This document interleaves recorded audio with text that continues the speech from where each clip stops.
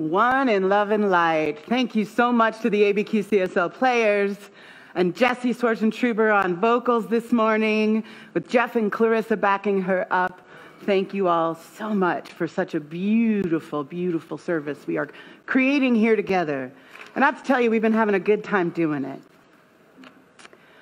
And as uh, I was showering this morning and in contemplation, because you know, showers and contemplation, they go perfectly together. I kept hearing Kendrick Lamar just rolling in my head. And I was like, wow, Kendrick is here visiting this morning. And what kept rolling in my mind is sit down, be humble. Sit down, be humble. Sit down, be humble. Reverend uh, Rami, Rabbi Rami Shapiro, said in the book, The Sacred Art of Loving Kindness, that we've been studying, not knowing rather than knowing is the key to loving kindness. Not knowing leads to genuine humility, and humility is the prerequisite for loving kindness. And I've been hearing a lot, and I've been hearing my whole life really, from the black community about how frustrating it is as we walk through this world that we just need to scream sometimes. We need to riot sometimes. This idea of sit down, be humble, listen to us. And then I started to think about that, that, that yell that cry, that scream, that sometimes gentle whisper, shh. Consider that you don't know what you think you know. And then I, I realized spirit is like, sit down, be humble, stop for a minute. Walk into that space that Clarissa was telling us about in the reading of just considering for a moment to empty yourself, to linger in this wildly uncomfortable space of not knowing, to pause long enough to empty ourselves of what we think we know of the stories we tell, and open ourselves to the present moment that exists without a blueprint, that exists without all of our beliefs and the stories we've been telling our entire existence. And be humble. Be humbled by the infiniteness of the presence of Spirit itself the epicness of all that we don't know. Because we actually can't practice loving kindness, as Rami Shapiro says, from this place of thinking that we know, from this place of having it already figured out. Right? The mission here at Albuquerque Center for Spiritual Living is Love and action, transforming lives and communities. And I love this mission. And our vision is a world that works for everyone. But I have no idea what that looks like. I have no idea what a world that works for everybody looks like.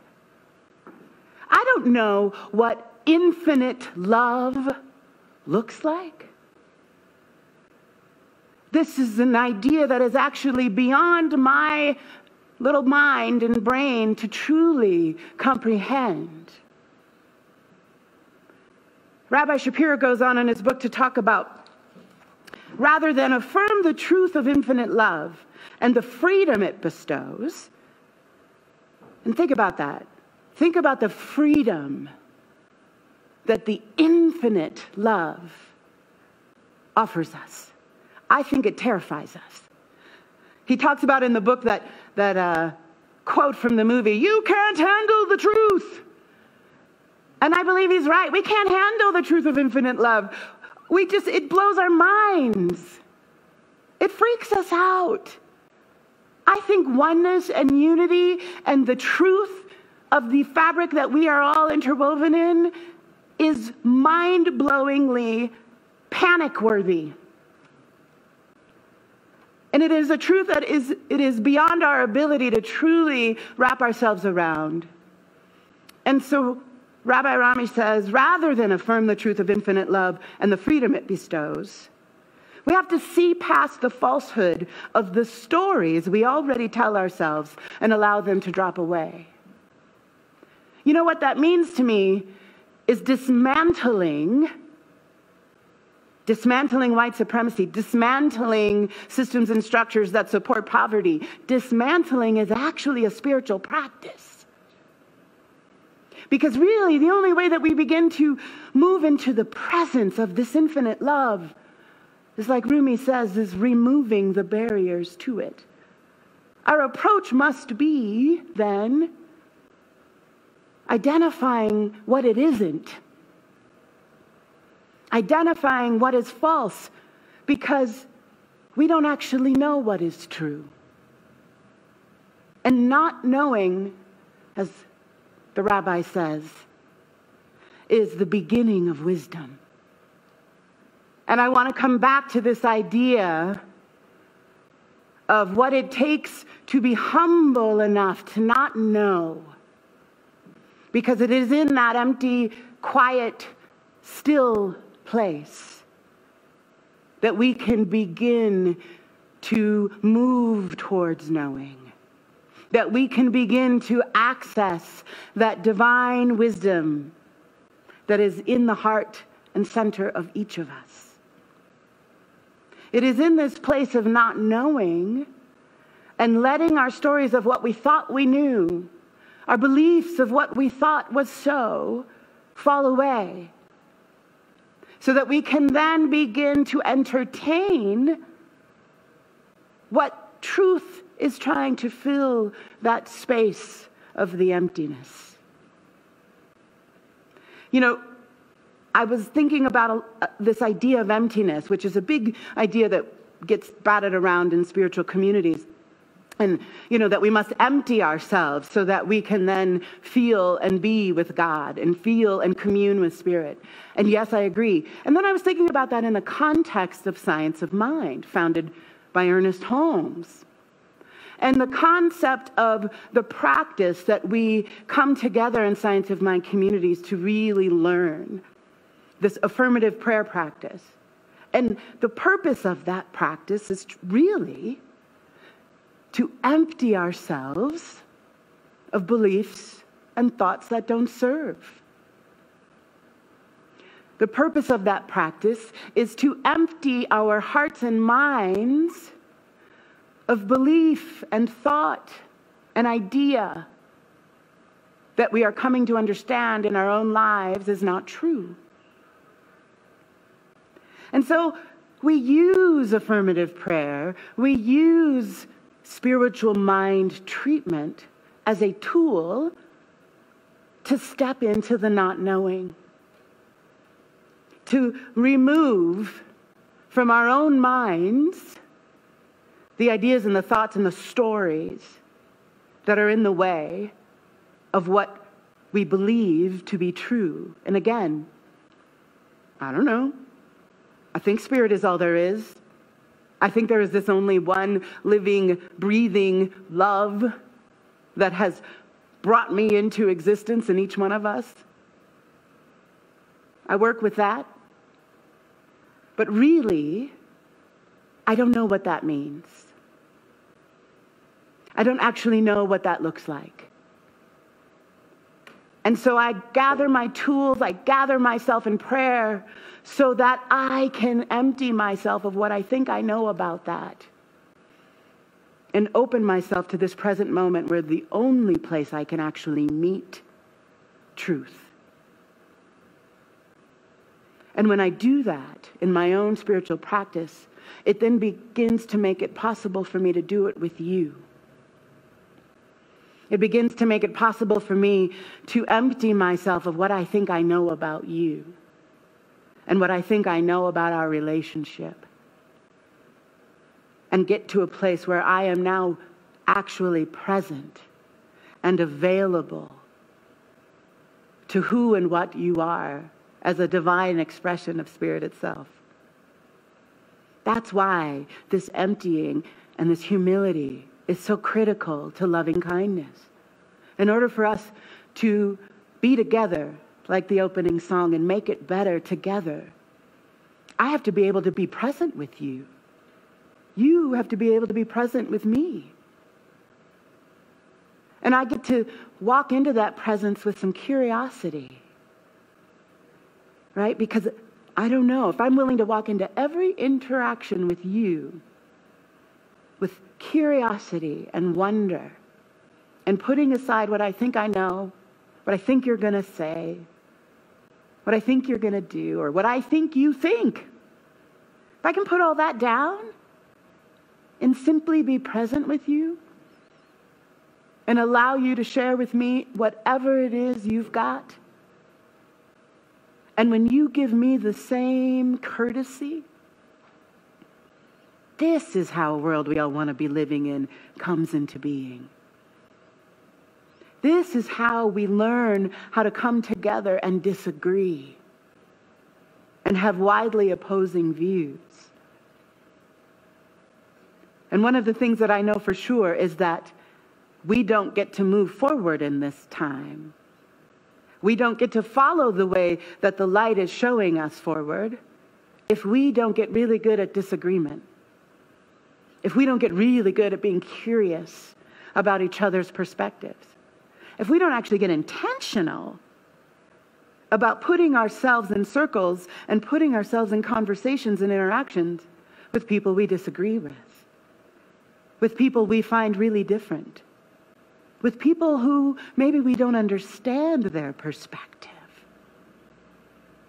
I had a conversation this week with one of my dear, dear besties, and she's really good at that. And she was talking about how she has cultivated a circle of intimate friendships with really, really different people with different pers- perspectives, with different heritage, with different cultural backgrounds, with different economic class. And she's done that intentionally. And I, I found myself saying to her, wow, do you get how radical that is? And how unusual that is? And yet, how critical it is that we intentionally do that with one another. Because if we believe that each of us, every single living creature on this planet, is a face of God, how do we expect to know God if we aren't actually surrounding ourselves with varied faces of God? And it really got me thinking about this silly thing we do in spiritual communities, especially. So we want to be around like minded folks. That's dumb. It's just dumb. I don't want to be around a bunch of like minded people who are going to just tell me everything that I already think and know. I don't get to grow if all I do is surround myself with like minded folks. No. How do I get to get closer to God and this infinite love if I don't actually put myself next to all that God is, all that love is? If I'm not willing to stretch myself beyond my own edges, my own beliefs, my own ideas. The Zulu people have a word called indaba. And in this tradition, it means, I have something important to tell you. And when they practice indaba, it's actually a coming together of circle of folks. And they, they sit in a circle so that there can be a perspective from each different person in the circle. And everybody in that circle has an opportunity to share their unique individual perspective. And everybody in that circle, because someone said Indaba, I have something to tell you, I have something important to tell you. They move into that moment empty,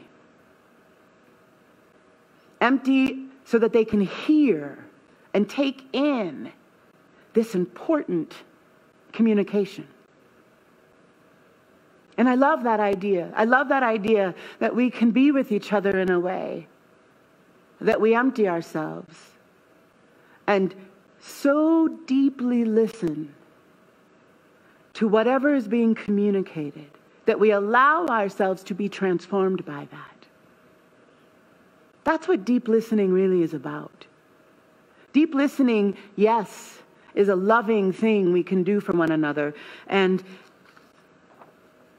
Quaker teacher Douglas Steere, who's an author as well, said, Holy listening is to listen another's soul into life. And I love that idea because it is an incredible gift we give to one another. But we love their soul into life and we listen their soul into life into a condition of disclosure and discovery.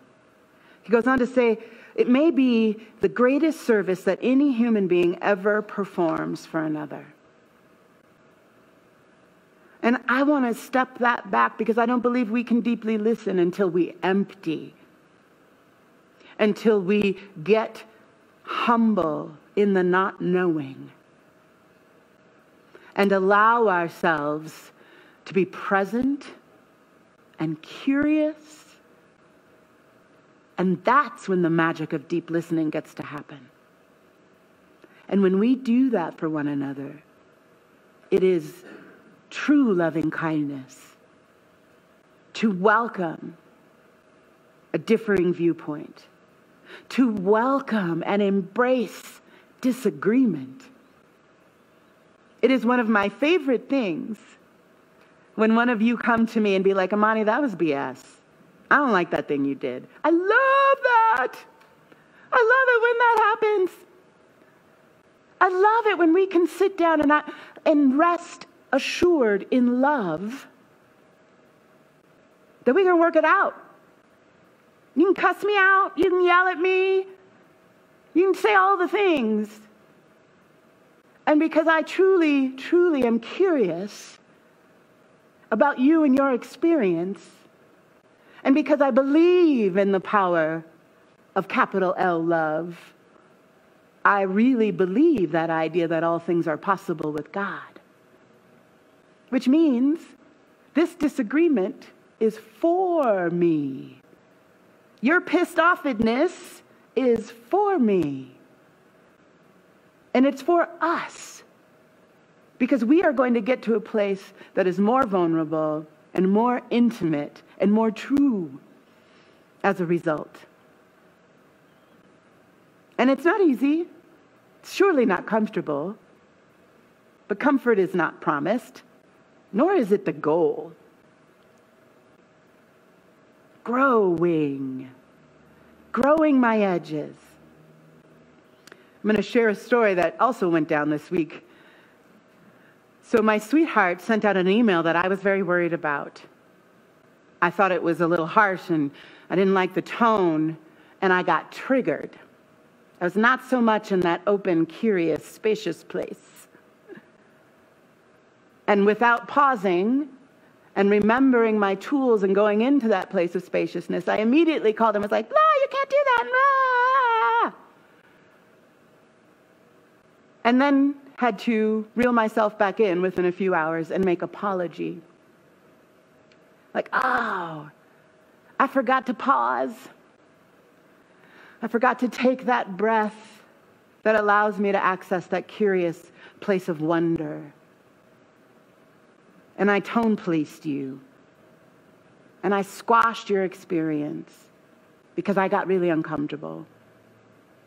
And I allowed myself to act in fear. And you know the beautiful thing about that is love is big enough that I was able to recognize my misstep and clean it up. And I knew that our love was great enough to hold the space for us to work that out. That's how powerful love is. That's how powerful taking a pause breath is. And how simple it is to access that place of curiosity. to access that place of humility and be like, wow, I don't know. That's not mine to say the best way to communicate this is. That's not mine to tell you how you should feel and how you should communicate your feelings. What is mine is to pause and to offer my presence, is to pause and get curious. I wonder if I sit with this long enough, I wonder if I sit across from you long enough, what will come of this discomfort? I wonder if I can bring my full attention to your rage, if something amazing might come of it. Imagine curiously what would happen if you in your life right now looked for ways to take that pause and get curious. Think of ways right now and put it in the comment feed of places and relationships in your life where you could pause, where you could just take a step back and let it be for a minute. Where might that serve you? Where in your life might you be able to better practice holy listening? How might that serve you? And I guarantee it that simple practice of pausing, of breathing consciously, allows us to step right into, oh, I wonder hmm, what could come from this? What good is in this for me right now? How could I move into this next conversation or interaction more present? How could I learn from this super different way of thinking? How could I learn from someone's wildly different viewpoint than mine. What a gift we give each other when we invite disagreement. What a gift we give each other when we just say, Yes, I am going to be present right here and right now, with, without opinion, without judgment, without preconceived notions, and give myself to you in that moment. It is a gift you give me, and it is a gift I give you. And I believe it is foundational to loving kindness and to building a world together that truly works for everyone. And so, if you are willing to say yes to that, to say yes to the pause, to say yes to disagreement, to say yes to curiosity and wonder, I invite you to anchor this with me in prayer right now. Because what I do know for sure is there is this greater love, there is this collective love, there is this epic, giant, infinite love that is present here right now as me, as you, as this entire globe and beyond that is in my understanding and beyond my understanding. And I allow that love to move and have its being through me right here and right now. And I know that as we each say yes, that love just moves greater and greater. It shows us the way forward. It reveals to each of us in our beautiful, unique ways the world that works for everyone. It reveals those perfect next right steps. It reveals the places of pause and lingering and curiosity and wonder and joy. And I know that that is exactly what is unfolding right here and right now. I know that is exactly what is blossoming into being this beautiful, epic love.